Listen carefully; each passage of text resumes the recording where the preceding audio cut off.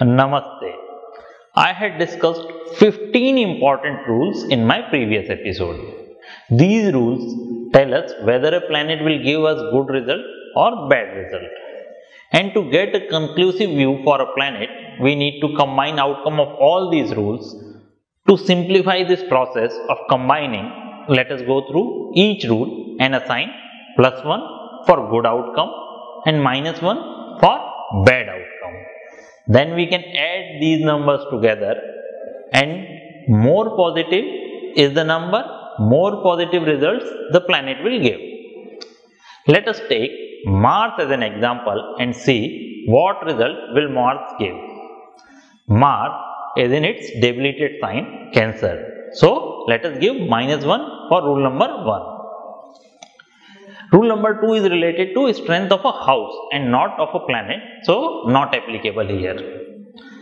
Mars is with its friendly planet Moon, so let us give plus 1 to rule number 3. Mars is not Uchabilashi, meaning it is not marking towards exalted sign, so this rule number 4 is also not applicable. Ascendant Lord is Saturn in our case and Mars is not Saturn's friend. So, let us give minus 1 to rule number 5. Mars is not Lord of Trikon. So, rule number 6 is also not applicable. Mars is a cruel planet and being owner of kin, it will leave malefic nature. As Mars will leave its malefic nature, it will become neutral. That is neither malefic nor benefic. So let us give 0 point to rule number 7. As Mars is the lord of third house, it will give malefic result. So minus 1 to rule number 8. Upachya house is good placement for any malefic planet including Mars. So plus 1 for rule number 9.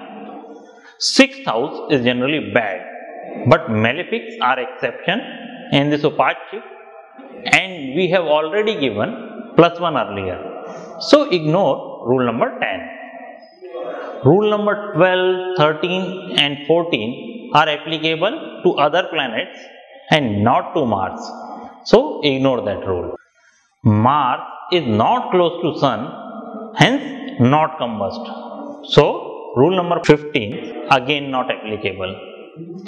If we sum all these points up, we get negative value. It shows overall Mars is going to give malefic results. It means it will harm Mars own signification as well as those houses that it owns. We should analyze the rest of the planet in the same fashion. That is all for this episode and before leaving don't forget to click on subscribe button below subscribers will be notified for new episodes. Namaste.